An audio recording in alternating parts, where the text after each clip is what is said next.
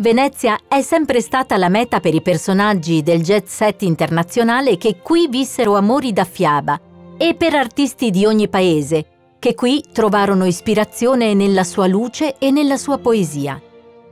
Lord Byron nuotava in Canal Grande e cavalcava sulla spiaggia del Lido seducendo le belle veneziane.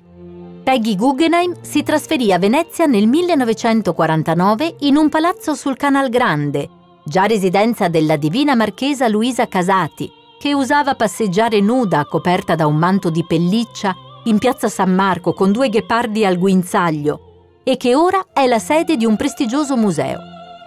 Coco Chanel disegnava le sue collezioni ai tavoli del Caffè Florian e Maria Callas iniziò la sua storia d'amore con Aristotele Onassis durante una festa all'Hotel Danieli. Il mitico Elton John possiede una casa nell'isola della Giudecca, mentre Woody Allen stava per acquistare Palazzo Dario sul Canal Grande, salvo poi cambiare idea appena venuto a conoscenza della leggenda sinistra che vuole che tutti i suoi proprietari muoiano di morte violenta. L'affascinante George Clooney e la bella Amal si sono sposati a Venezia, festeggiando in maniera regale le loro nozze a Palazzo Papadopoli, ora Hotel Aman sul Canal Grande.